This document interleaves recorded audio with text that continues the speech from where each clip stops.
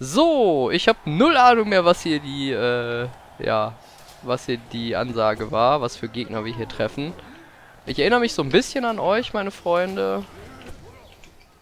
Ähm, aber mit Doppelsprung ist das Ganze schon wesentlich einfacher, habe ich den Eindruck. Auch wenn der gerade da oben irgendwo im Nirgendwo verschwunden ist. Ah, das wollte ich eigentlich nicht, aber gut. Ja, komm du mal her. Genau. Den hätten wir. Den hätten wir auch. Und die kriegen wir jetzt mit einem schweren Schlag sogar down. Also das ist schon... So, wie war das nochmal? Ich wollte den, glaube ich, auf dem Screen behalten. Ne, kann ich gar nicht. Ha. Dann vergiss es.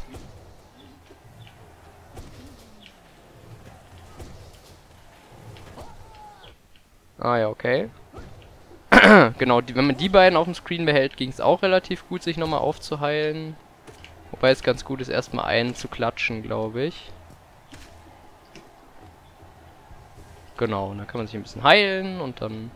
Aber es ist so viel einfacher. Also gerade jetzt auch die ersten Formen hier. Ist vielleicht jetzt auch ein bisschen... Die beiden sterben sowieso, wenn ich das richtig in, in Erinnerung habe. Genau.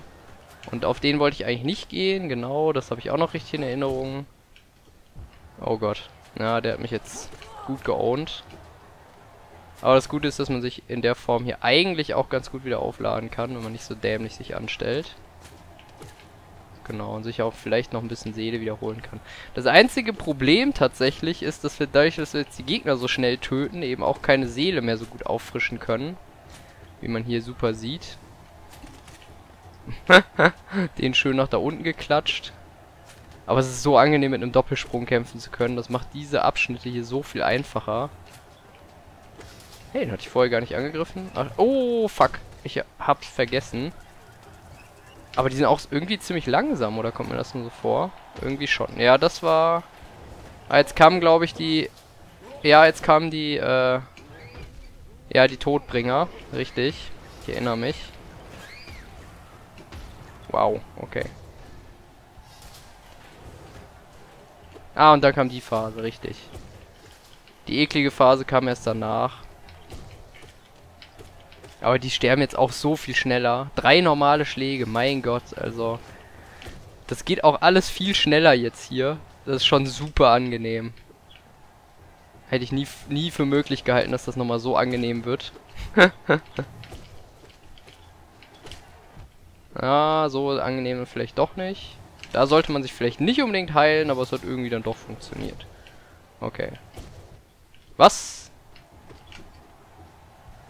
Ja, hier sollte man im Idealfall immer mit vollem Leben rausgehen, glaube ich.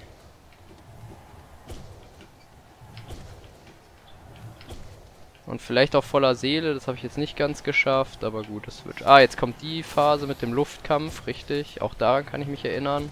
So ganz dezent. Aber wie schnell die hier einfach sterben, wenn jeder Gegner nur einen Schlag braucht. Das ist so angenehm. Das ist unglaublich. Okay, die brauchen immer noch zwei Schläge, aber Ah, okay. Ja, an den erinnere ich mich auf jeden Fall auch noch. Da musste man irgendwie so hier, genau, jenen machen. Oh. Wie viele Probleme ich hier teilweise früher hatte. Das ist... Wow, wow, wow. Also, das ist super angenehm. Okay, jetzt kamen die Phasen, die nicht mehr so super angenehm waren. Ich erinnere mich auf jeden Fall. Und den in der Mitte wollte ich eigentlich stehen lassen. Aber auch das könnte ich mir mit Doppelsprung, glaube ich, deutlich besser vorstellen. Genau, weil den haben wir jetzt schon mal down. Jetzt müssen wir halt den Mantis irgendwie... Ach, das war nicht so clever. Genau, du machst den da und dann haben wir dich down. Perfekt. Und die da jetzt sollten eigentlich auch mit einer, einer mit einem großen Schlag wahrscheinlich sogar sterben. Ja, und jetzt können wir den hier locker einzeln killen. Ah, jetzt, jetzt kam die eklige Phase. Aber die können wir auch nach hier oben verlagern. Damit hat der unten nämlich gar nichts mehr zu sagen quasi. Und den da oben am besten auch wieder rausnehmen. Ja, guck mal. Da, die unten, die, die sind uns völlig egal jetzt in der Phase. Das ist so krank mit dem Doppelsprung. Wie viel einfacher es das macht. Mein Gott. Ich meine, ich will jetzt nicht zu früh sagen, dass wir das, den Kampf jetzt locker schaffen. Später der Luftkampf wird mit Sicherheit nochmal eklig. Da bin ich relativ überzeugt von. Aber nichtsdestotrotz, wie oft wir an dem Abschnitt hier schon gestorben sind früher. Oh Gott. Äh, aber die sterben jetzt auch mit einem Schlag. Wow, okay, krass. Das ist angenehm.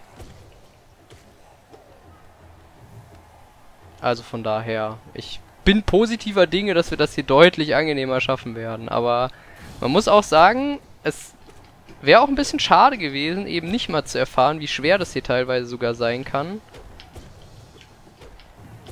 Ähm, weil es das auch irgendwie... Wow, also... Ja.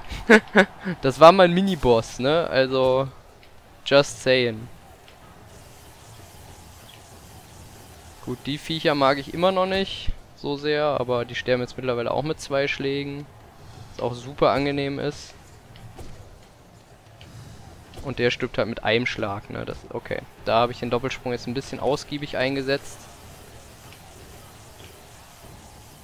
Okay, einmal heilen noch und dann... Hä? Das war irgendwie seltsam, aber gut.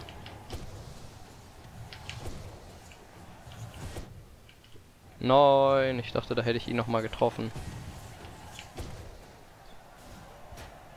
Nein, er hat mich am Heilen gestoppt. Okay, daran habe ich jetzt nicht mehr gedacht.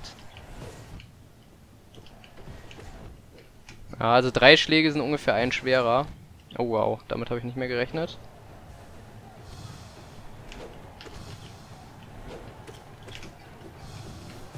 Wow. Damit habe ich auch nicht mehr gerechnet. Der ist super zum Heilen. Ja, und jetzt kann man sich nochmal ein bisschen aufladen. Okay. Perfekt. So, jetzt kam die verkleinerte Wand. Ah, das war dämlich.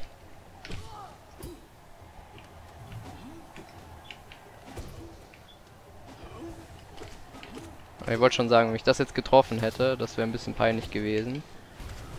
So, die konnte man super ausnehmen mit der Fähigkeit. Daran erinnere ich mich noch. Oh, nochmal. Daran erinnere ich mich nicht mehr so richtig, aber gut. So, jetzt kam der Boss.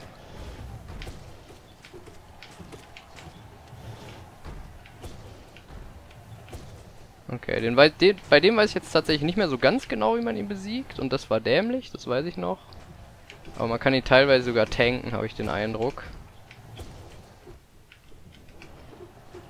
Teilweise. ah, teilweise, sehr teilweise.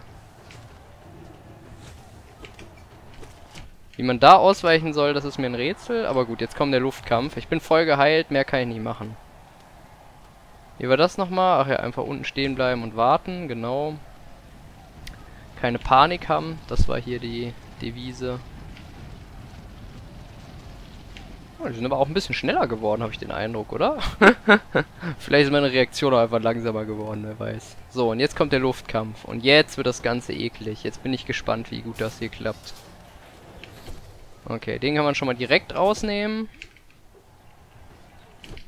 Na, fuck. Ja, das tut schon mal weh. Das war super. Den direkt rausnehmen. Die darf man einfach nicht zu schnell angreifen. Da muss man warten, bis sie ready sind quasi. Oh ja. Wie man da ausweichen soll, das äh, hinterfrage ich mal nicht. Und hier bin ich, glaube ich, immer gestorben, wenn ich mich nicht täusche. Aber wenn es halt auch eine Energie mehr, was schon mal hilft. Und das hilft auf jeden Fall auch. So, jetzt wäre es ganz nett, wenn man danach irgendwann mal sich wieder aufheilen könnte. Dürfte. Irgendwann. Das wäre jetzt nicht so besonders schwierig. Das ist jetzt auch nicht besonders schwierig. Oh ja. Oh ja, gib mir das, gib mir das. Gib mir die Heilung. Okay, hier waren wir noch nie. Sehr gut.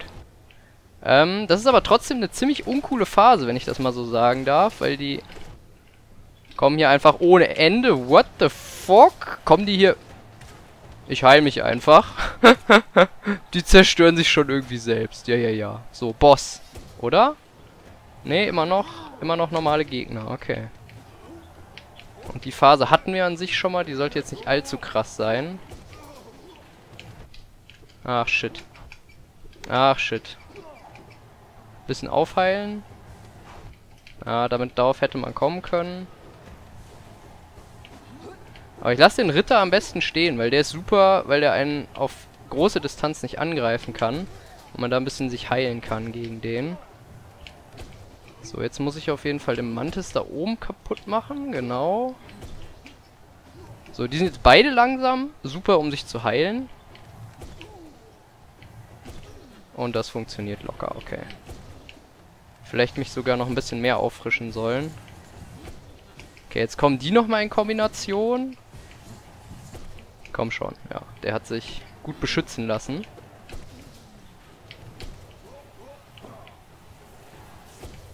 Okay, den ohne die Plattform zu haben, ist auch ein bisschen ungewohnt tatsächlich, aber funktioniert. Ach Gott.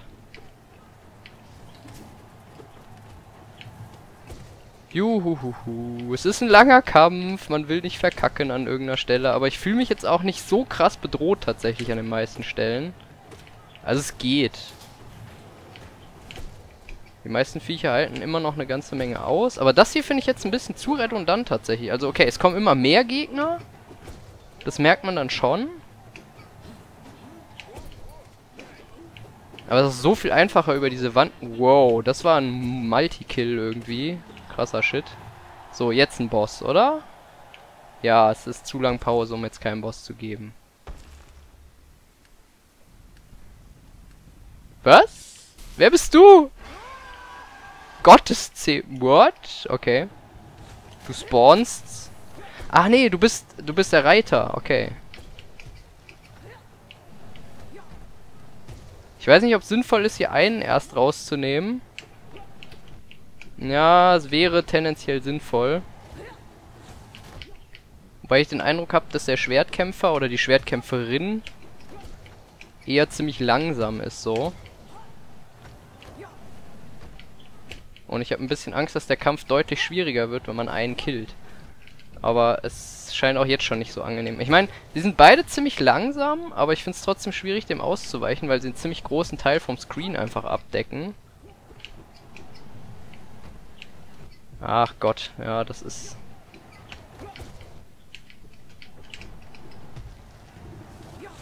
Oh Mann, ja.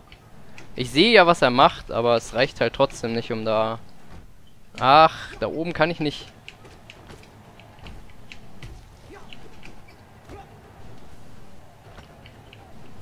Okay. Ach, Mann. Nee, das wird so nichts, wenn ich das so weitermache. Hä? Den habe ich überhaupt nicht gesehen. Ja, okay. Ah, okay. Eigentlich nicht so krass schwer der Boss, finde ich, aber ich war gerade ein bisschen überfordert. Hm. Größte Schwierigkeit der eine Gegner macht fast gar nichts, aber blockiert halt einen Teil vom Feld, während der andere ziemlich viel macht und man irgendwie mit klarkommen muss, was er genau macht. Das tut ein bisschen weh tatsächlich. Ähm, aber ich bin doch überzeugt davon, dass wir das irgendwie bald hinbekommen. Insbesondere, weil ich mich am Anfang halt ziemlich dämlich angestellt habe. Also, das muss man schon sagen. Vielleicht wäre es tatsächlich sogar am cleversten, da ähm, einfach mal Kamikaze zu spielen, also alle seine Seelenfähigkeiten rauszuhauen, wobei ich schon den Eindruck hatte. Ich meine, man kann sich gut heilen, man muss halt wirklich nur darauf achten, wann spuckt er seinen Mist, ja, und wo spuckt er ihn hin. Mittlerweile habe ich rausbekommen, dass es halt ziemlich zielsuchend ist, das heißt, wenn ich einen Schritt gehe und dann bin ich eigentlich ziemlich sicher. Ähm, das sollte eigentlich nicht so das Problem sein dann. So, machen wir die Fliege... Oh, ja, nach unten geht die Reichweite da gar nicht. Da muss man immer ein bisschen vorsichtig sein.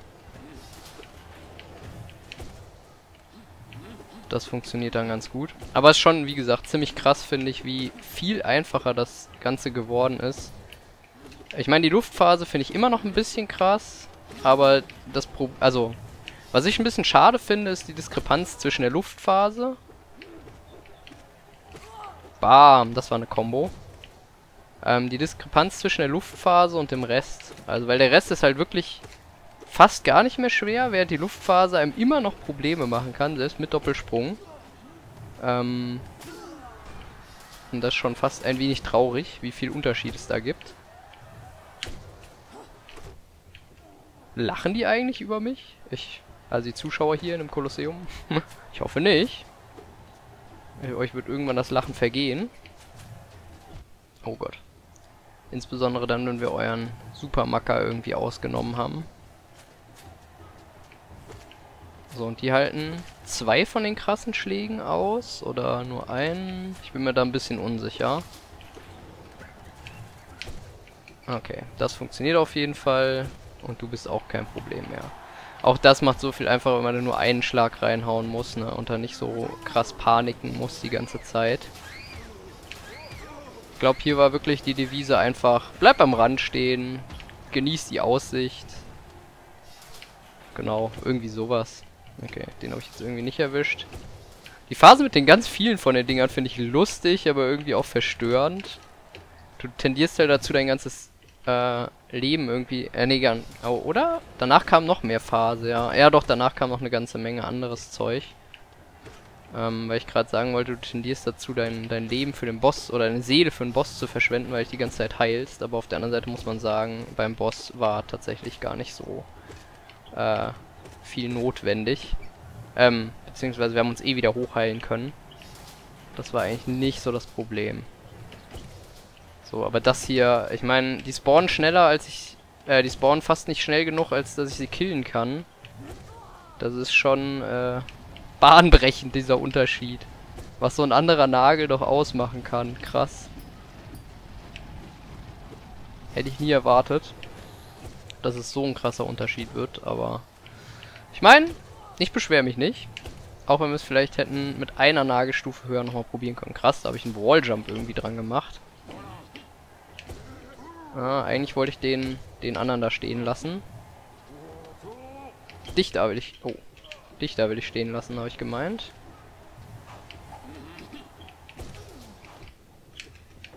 Okay. Ah, jetzt kommen halt die dämlichen Gegner zusammen. Das müssen... Obwohl, der ist einzeln. Perfekt. Jetzt kommen sie zu dritt. Ja, das war der eklige Kampf.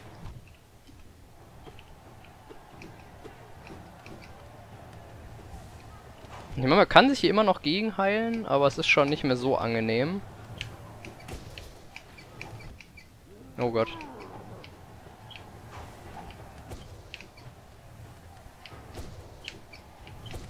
Okay. ich wollte schon sagen, es kann ja nicht sein, dass ich jetzt beim zweiten Mal mehr Probleme habe mit dem Kampf als beim ersten Mal.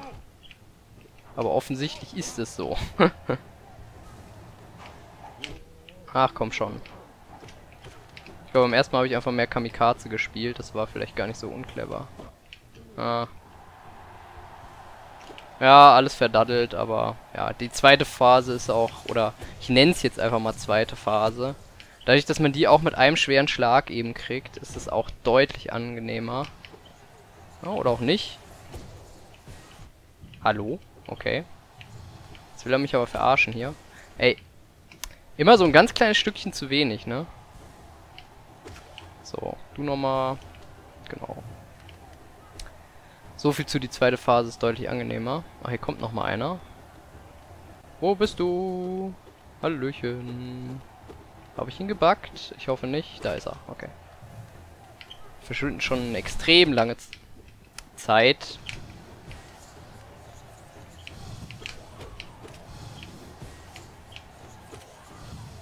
Man kann hier zumindest recht gut Seele wieder regenerieren, wenn man nicht so viel Leben verlieren würde, wie ich gerade.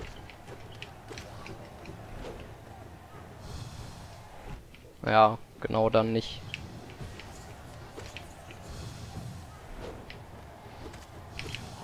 Irgendwie habe ich keine Regenerationsphase mehr.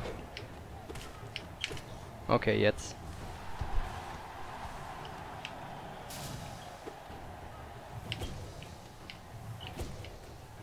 Ja, genau. So passt das auf jeden Fall wieder. Oh Gott. Du bist... Obwohl die jetzt mit einem Schlag tot sind, finde ich die immer noch ziemlich eklig, weil es relativ schwierig ist, die auseinanderzunehmen.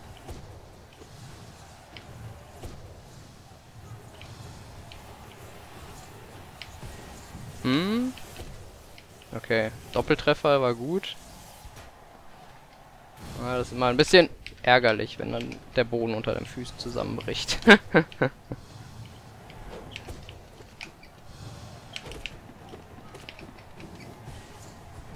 ja, damit hätte man rechnen können. Damit hätte man nochmal rechnen können. Damit hätte man nochmal rechnen können, aber diesmal war ich schnell genug. Schon krass, dass der wirklich die Fernkämpfe auch hintereinander mehrfach rausbammt. Ich denke mal, man ist dann geschützt, wenn man den Eimer überlebt hat quasi.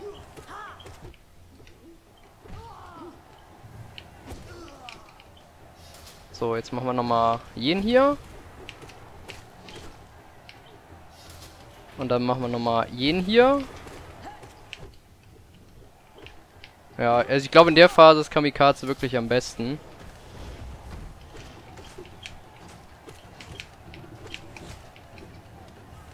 Ich glaube, das ist die einzige Chance, die man da hat, um auszuweichen. Wirklich die Wand hoch zu kraxeln. Oder halt auf die andere Seite, sofern er das zulässt. Aber es lässt halt auch nicht immer zu, ne?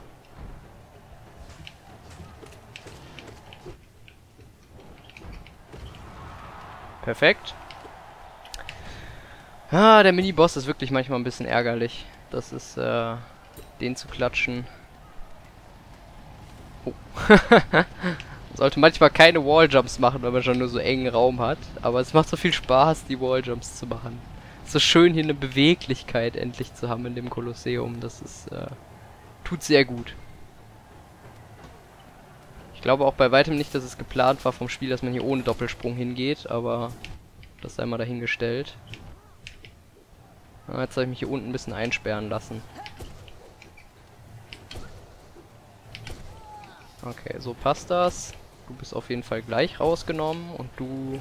Ist immer schön, wenn man die im Flug rausnehmen kann. Ah, shit. Das hat, ein bisschen, das hat auch ein bisschen wehgetan. Ja, ich glaube, wenn man ganz oben oder ganz unten verweilt, ist es wirklich am besten.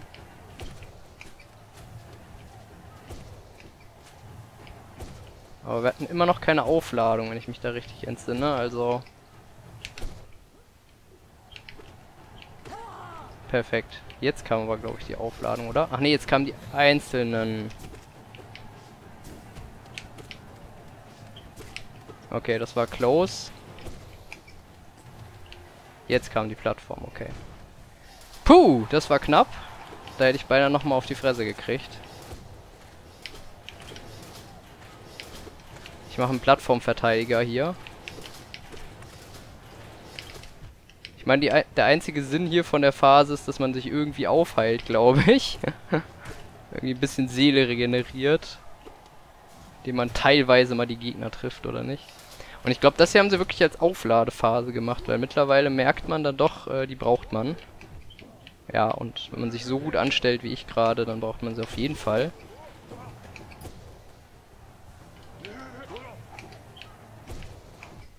Was? Okay. Komm du mal her. Der will nicht herkommen. Ne, irgendwie, der wollte gerade keine Attacke machen. Frag mich nicht warum.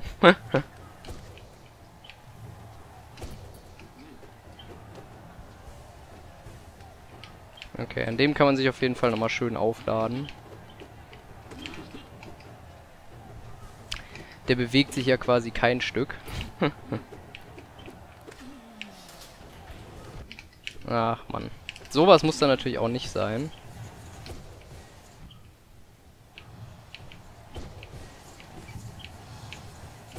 Ah! Ich traue mich nie nah genug an den ran, wegen dieser dämlichen Kugel. Und der haut halt auch immer gut ab, finde ich.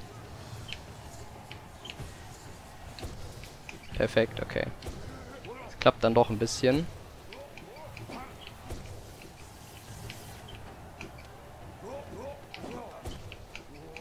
Okay. Das hat funktioniert. Hier laden wir uns mal in zwei Phasen auf, damit wir gleich wieder bei Full Life stehen nach Möglichkeit. Aber halt keine volle Seele haben. Das tut ein bisschen weh.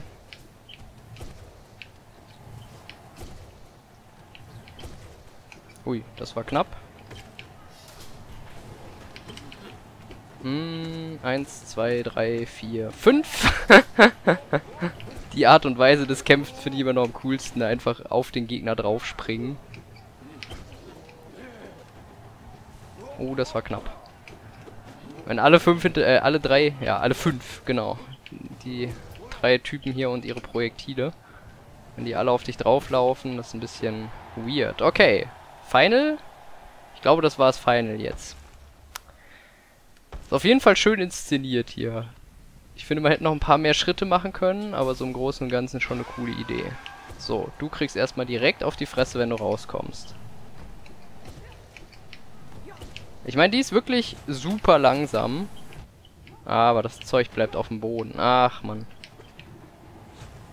Hallo? Okay, das war uncool. Das war auch nochmal uncool. Okay, das war auch uncool.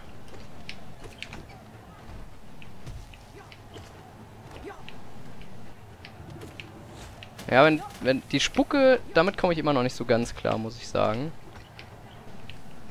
Aber damit sollte man mittlerweile klarkommen.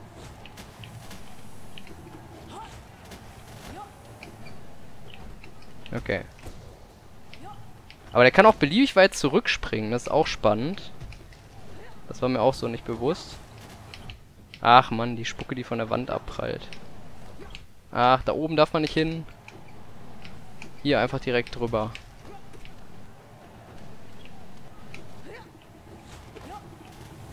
Okay. Ja. Genau, komm du mal her. Am besten man zieht ihn wirklich direkt hier ran. Oh Gott, das war nicht so clever. Zum Glück ist die Reichweite davon beschränkt. Das tut echt gut. Ah, da oben kann ich wieder nicht hin. Das habe ich vergessen.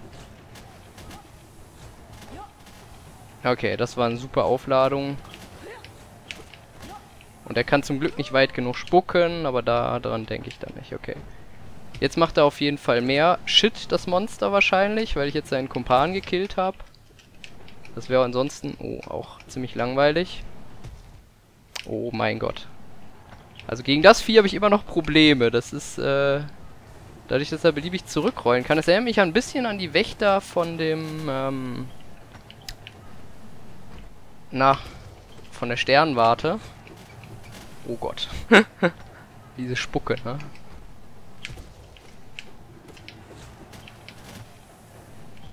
Was? Was hat mich da jetzt gerade getroffen? Genau, geh du mal zurück. Ah, perfekt. Okay, sie haben jetzt nicht so viel ausgehalten, aber es ist auch noch kein Achievement da. Das heißt, es kommt vielleicht noch was. Der König selbst. Nein, es war's. Ja. Aber, ah, jetzt haben wir das Achievement. Sehr gut. Der Narr. Wir sind der Narr geworden. Finally. 3020. Herrliche Geo. Die uns überhaupt nichts mehr bringen, nebenbei bemerkt, aber es sieht schön aus, 4800 Geo zu haben. so, und damit haben wir alle Prüfungen abgeschlossen, wenn ich das richtig sehe. Weil hier das ist keine Prüfung mehr und hier das ist offensichtlich nur der Durchgang nach unten. Und damit sind wir hoffentlich zufrieden, hoffe, denke ich mal. Ich weiß nicht, am Ende, was ich ein bisschen schade finde, ist, dass das Ende nicht ein krasser Knall war. Also ich meine, für ein Kolosseum ist der Endboss schon cool gewesen, irgendwo. Ja, ich denke, man kann ihn so stehen lassen. Ich meine, das, das größte Problem, was wir haben, ist die Tatsache, ich musste ihn jetzt nicht so krass lernen weil ich immer noch zu stark bin eigentlich. Also ich denke schon, dass das... Moment mal. Erzähle uns jetzt vielleicht was anderes. Willkommen zurück, Krieger. Ein echter Narr kämpft weiter, auch wenn es keinen Ruhm mehr zu erlangen gibt. Geh zum Brett und setz dein Zeichen.